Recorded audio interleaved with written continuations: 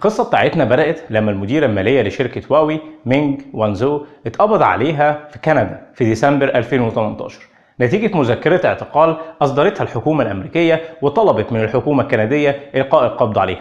والحقيقة هي مش بس المديرة المالية لشركة هواوي إنما هي بنت مؤسس شركة هواوي وهي المتوقع إنها تكون رئيسة الشركة بعد والدها. يعني هي مش مجرد موظفة. الموضوع ده ساعتها زود الحرب بين بكين وواشنطن أو نقدر نقول ما بين الصين وأمريكا. وساعتها وزارة الخارجية الصينية أعلنت إن هي بتطالب الحكومة الأمريكية بإبداء الأسباب اللي بسببها ألقت القبض على المديرة المالية لشركة هواوي وطالبت الحكومة الأمريكية بالإفراج الفوري عنها. طبعا الأسباب اللي قالتها الحكومة الأمريكية ساعتها إنها اكتشفت إن شركة هواوي بتتجسس على الحكومة الأمريكية باستخدام تكنولوجيا الأجهزة بتاعتها. والمعلوماتك طبعا شركة هواوي هي أكبر شركة منتجة للموبايلات في الصين وهي الشركة الثانية في العالم بعد سامسونج الكورية. وبتسبق شركة أبل في مبيعاتها في الموبايلات على مستوى العالم. وده بيخلي منتجات شركة هواوي موجودة تقريبا مع 3 مليار بني آدم في حوالي 170 دولة. وأمريكا بتدعي إن موضوع التجسس ده مش جديد إنما بدأ مع شركة هواوي من حوالي 10 سنين تقريبا. وطبعا ترامب ساعتها أعلن إن هو مش هيعمل أي بيزنس مع شركة هواوي نتيجة مخاطرها على الأمن القومي الأمريكي. طبعا خوف أمريكا ده نابع من إن هي عارفة إن التكنولوجيا اللي عند شركة هواوي هي اللي هتحدد في المستقبل أنهي دولة اللي هتقود العالم خصوصا تكنولوجيا الجيل الخامس أو ال 5G اللي هواوي بتعتبر من أكبر أربع شركات بتشتغل في التقنية دي على مستوى العالم إن ما كانتش أكبرهم. وطبعا التكنولوجيا بتاعتها بتمتد للذكاء الاصطناعي والمدن الذكية اللي بتتعرف على كل المواطنين بتوعها من خلال كاميرات موجودة في كل الأماكن في الدولة زي بالظبط ما انت بتفتح الموبايل بتاعك وبتفتحه من غير ما بتكتب password بتفتحه عن طريق إن هو بيعمل face recognition أو بيتعرف على وشك وبيفتح منه الموبايل. النهارده عايزين ندردش ليه ممكن شركة تكون بتخوف دولة ومش أي دولة هي أقوى دولة في العالم الولايات المتحدة الأمريكية. وهل فعلا هواوي عملت ما يستدعي الخوف الكبير اللي عند الولايات المتحدة ولا الموضوع مبالغ فيه؟ وهل سياسات ترامب دي هتمتد دلوقتي لسياسات بايدن وهنلاقي إن نفس التعامل مع الموضوع ما بين أمريكا وما بين الصين ولا الموضوع ممكن يختلف؟ معاكم أحمد سند.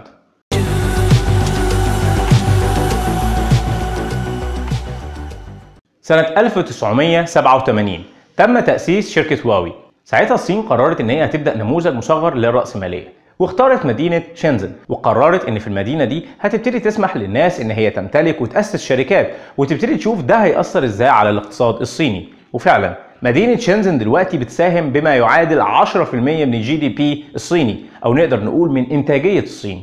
شركة هواوي اتأسست في الوقت ده بحوالي 21 ألف يوان صيني اللي هو كان بيساوي وقتها حوالي 5000 دولار أمريكي. مؤسس شركة هواوي هو مهندس كان بيخدم في الجيش الصيني ومن هنا تنبع المشكلة.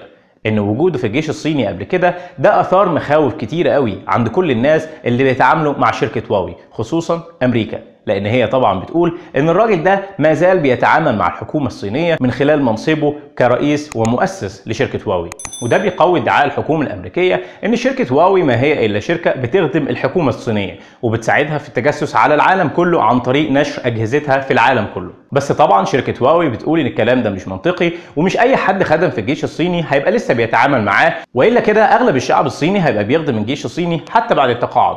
وهم بيشوفوا إن ده مش منطقي وبيأكدوا إن شركة هواوي هي شركة خاصة 100% والحكومة الصينية لا تمتلك فيها أي نسبة وبالعكس مؤسس شركة هواوي اللي بسببه حصل كل المشاكل دي هو بنفسه يمتلك تقريبا 1.4% من أسهم شركة هواوي والباقي موجود مع ال 90 ألف موظف اللي متعينين في شركة هواوي. يعني هو كرئيس ومؤسس لشركة هواوي ما عندوش الباور الكافية أو القوة الكافية إن هو ياخد قرارات لوحده. نرجع تاني لمدينة شانزن اللي كنا بنتكلم عنها اللي فيها تقريبا حوالي 20 مليون نسمة. المدينة دي بتتطور بشكل سريع جدا لدرجة إن فيها مراقبة بالكاميرات لكل حتة فيها. لو أنت واحد من الناس بتعدي الشارع على رجلك في وقت عبور العربيات ساعتها الكاميرات كلها هتصورك صورتك هتظهر على لافتة كبيرة جدا في الشارع وجايبة كل البيانات بتاعتك وفي نفس الوقت هيجي لك رسالة على الموبايل في وقتها بالغرامة اللي أنت المفروض تدفعها.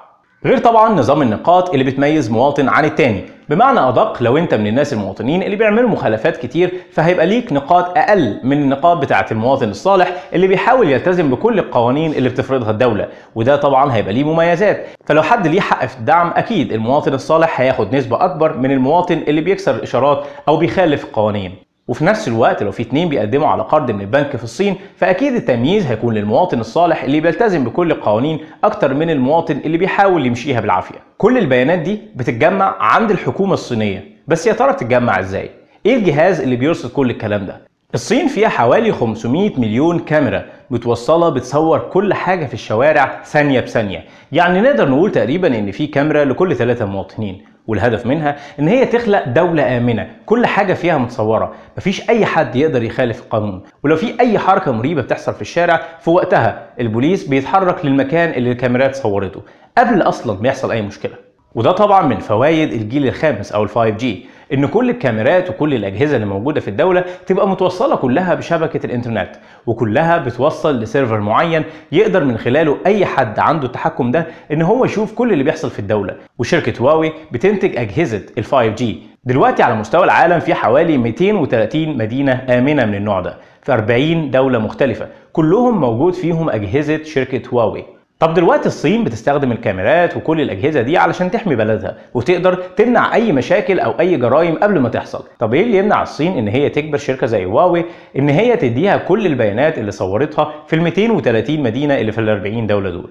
هل في حاجة تمنع ده؟ الحقيقة لا.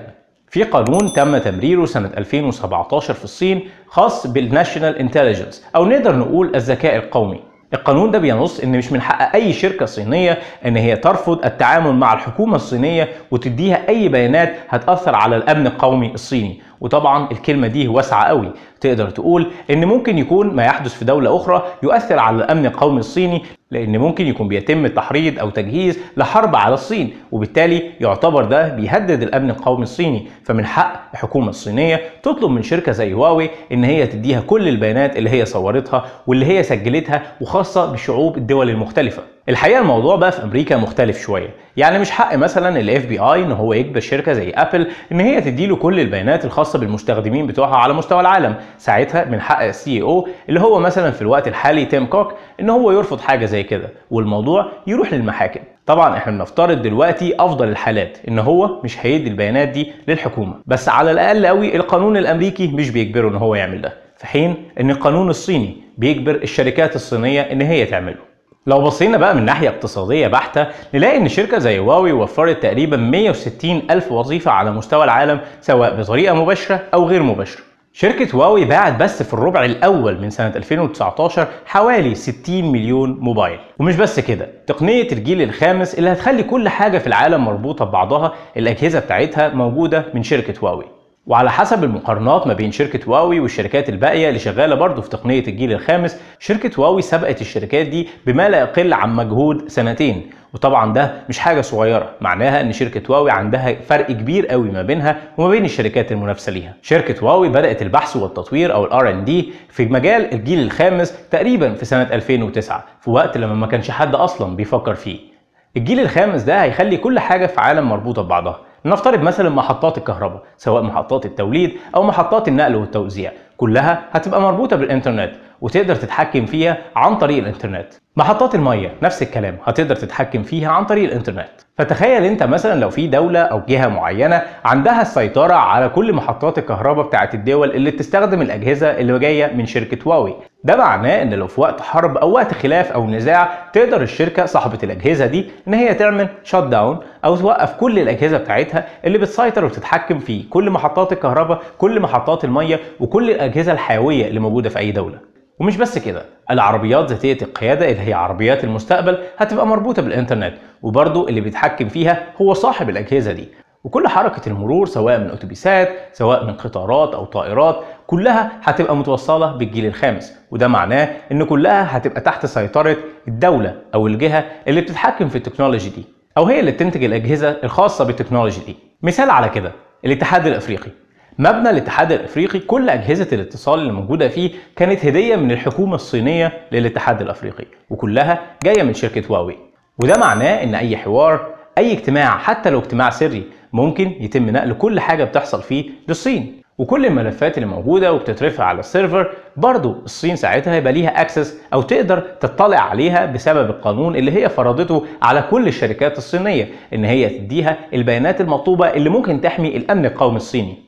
طبعا بقى مؤسس شركة هواوي حلف بكل الأيمان إن الشركة ملهاش في الشمال وإن هو مستعد يمضي anti backdoor agreement مع أي حكومة تطلب منه ده. والاتفاقيات اللي بالنوع ده هتضمن لدولة من الدول اللي بتستخدم أجهزة هواوي إن البيانات بتاعتها مش هيطلع عليها أي دولة تانية غير بالاتفاق مع الدولة صاحبة الأجهزة. بس هل فعلا شركة هواوي تقدر تقول للحكومة الصينية لأ حتى بعد ما تمضي اتفاقية زي دي مع الحكومات التانية؟ في الغالب لأ. وهو ده مدخل أمريكا وشكوكها. أمريكا بتقول إن الصين مش دولة ديمقراطية زي أمريكا وساعتها الحكومة الصينية سهل جدا إن هي تجبر شركة زي هواوي إن هي تديها كل البيانات دي حتى بعد ما تمضي أي اتفاقية مع أي دولة تانية لأن ببساطة شركة هواوي كلها ممكن تقفل في ثانية لو الصين قررت إن هي هتغضب عليها. وإحنا شفنا دلوقتي اللي بيحصل مع حد زي جاك ما مؤسس شركة علي بابا بعد ما بدأ بس يناطح مع الحكومة الصينية ومع النظام البنكي الصيني. ولغاية دلوقتي الراجل مختفي وممكن نعمل حلقة خاصة عن جاك ما ويا ترى إيه اللي بيحصل دلوقتي في شركة علي بابا وال IPO أو الاكتتاب اللي كان بيفكر يعمله للشركة الجديدة بتاعته Ant واللي كان هيبقى أكبر IPO في التاريخ. وده معناه إن الصين سهل قوي تمشي كلامها على كل الشركات الصينية. أمريكا شايفة إن تكنولوجيا ال 5G أو الجيل الخامس لو جت عن طريق الصين فهي ببساطة هتبقى عاملة زي حصان طروادة اللي من خلاله تقدر الصين تتجسس على العالم كله. بحلول سنة 2025 متوقع إن هيبقى فيه تقريبا 100 مليار جهاز على مستوى العالم متوصلين كلهم بالإنترنت عن طريق ال 5 g. تخيل بقى البيانات اللي بتتسجل عن طريق ال 100 مليار جهاز دي. كل البيانات الممكنة سواء بيانات حيوية خاصة بالشعب بتاع كل دولة أو بيانات خاصة بالانفراستراكشر أو البنية التحتية بتاعت أي دولة. تقدر تعرف فيها كل الأسرار بتاعت أي دولة سواء للكهرباء سواء للمية سواء للطاقة بتاعت الدولة اللي أنت بتسجل منها سواء لكل البيانات الطبية بتاعت الشعب سواء للمشتريات بتاعتهم. أي حاجة بتحصل وبيتم تبادلها عن طريق الدولة دي هتقدر بزرار تشوفها وتطلع عليها. وطبعا ده بيدي privilege أو ميزة لشركة زي هواوي يعني هل ساعتها لو الموضوع انتشر في أوروبا وأفريقيا وكل الدول عن طريق شركة هواوي تقدر أمريكا تعادي الصين؟ هل تقدر أمريكا تحاربها؟ ولا ممكن دلوقتي الصين هي اللي تبتز أمريكا بوجود كل الأجهزة دي على مستوى العالم خصوصا لو قدرت تدخلها في أمريكا؟ أمريكا طبعا حاولت تلعب بنفس الأسلوب التكنولوجي إن هي إزاي تعمل حصار حوالين شركة هواوي وإن هي تمنع إن هي توصل لل GAFAM أو اللي هي الشركات الخمسة الكبيرة Google Apple Facebook Amazon Microsoft يعني مش هتلاقي مثلا جهاز مصنع عن طريق شركة هواوي موجود عليه Google Maps لأن شركة جوجل منعت إن ده يحصل وفي نفس الوقت مش هتلاقي عليه مثلا Google App اللي تقدر تنزل منه البرامج اللي موجودة على ال App Store بتاع جوجل.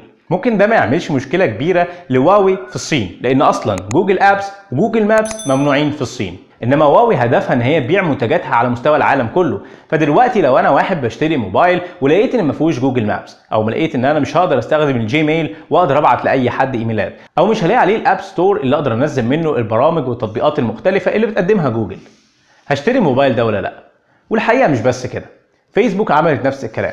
مش هتقدر تنزل فيسبوك أو تستخدم الواتساب أو تستخدم الماسنجر بتاع الفيسبوك على موبايلات هواوي دلوقتي ده طبعا بيضيق الخناق قوي على شركة هواوي لأن أنا كواحد دلوقتي مستهلك مش هشتري موبايل ما فيهوش Google Maps ما فيهوش App Store ما فيهوش Gmail ما فيهوش فيسبوك ما فيهوش واتساب ما فيهوش ماسنجر بتاع الفيسبوك. هستخدمه إزاي؟ يعتبر في الآخر ملوش أي لازمة بالنسبة لي وبالتالي هضطر أشتري أي حاجة تانية ولنفترض سامسونج ابل أو غيره. وبكده إلى حد كبير أمريكا قدرت إن هي تضغط على شركة زي هواوي. بس يا ترى هي إزاي أقنعت الشركات الخمسة دول إن هي ما تستخدمش ال applications بتاعتها على موبايلات هواوي هل قعدوا يتناقشوا؟ ولا برضو الحكومة الأمريكية أجبرت الشركات الخمسة الكبار إن هم ما يتعاملوش مع هواوي وهل فعلا الحكومة الأمريكية عندها الديمقراطية الكافيه إن هي ما تجبرش الشركات دي تعمل كده زي ما هي بتلوم على الصين؟ ولا الموضوع ماشي إزاي؟ سؤال تاني.